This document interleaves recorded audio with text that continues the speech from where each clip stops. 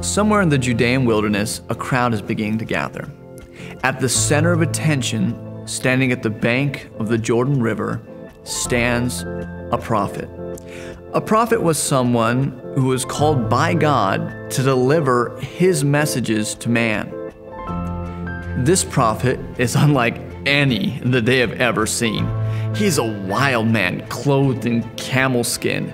He lived in the wilderness and survived on a diet of locusts and wild honey. His name is John, and he's known as the baptizer.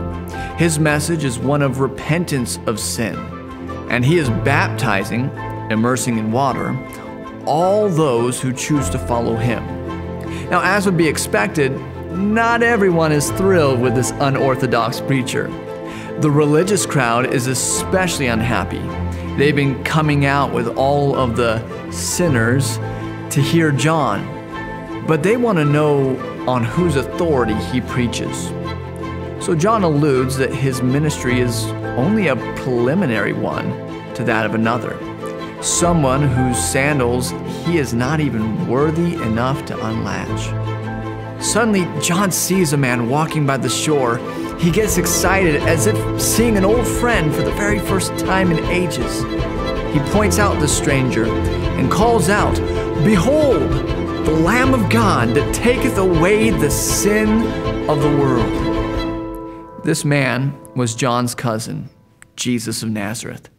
What exactly did John mean by the statement? You see, after man sinned in the Garden of Eden, God instructed man how he was to follow God's law. He told man what was right and what was wrong. He instructed how man was to worship him. Man still had an issue of sin to address. A sacrifice would have to be required. People who loved God and wanted to follow him would make a regular sacrifice for sin. A spotless lamb would be taken and it would die to temporarily pay for man's sin.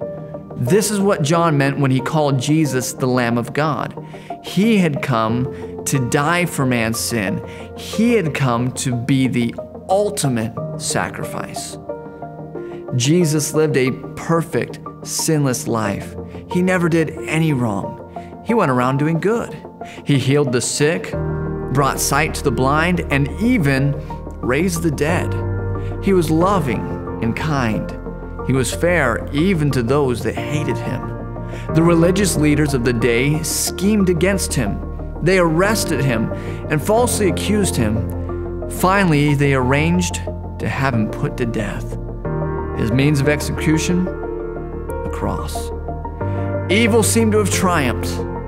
A just man was put to death. But this was all a part of God's plan. For God so loved the world that he gave his only begotten Son, that whosoever believeth in him should not perish, but have everlasting life. That's what the Bible tells us in John chapter 3 verse 16. Jesus was no mere man. He was the very Son of God. In his mercy and grace, God gave his own Son to save man from sin. In the previous video, I spoke of a great uncrossable divide between man and God. What made that divide so uncrossable? Simply put, we broke God's law. No matter how good we are, it does not erase the fact that we are criminals and we face God's justice. Our impending verdict was guilty. Our punishment was death. Into this scene, the judge's own son steps and volunteers to take our place. He willingly faces our death penalty. He suffers in our stead. On the cross, Jesus, God's Son, God incarnate, died for man's sin. The Lamb of God had been sacrificed for the sins of the world. His body was taken down from the cross. His most dedicated followers prepared it for burial and placed it in a tomb.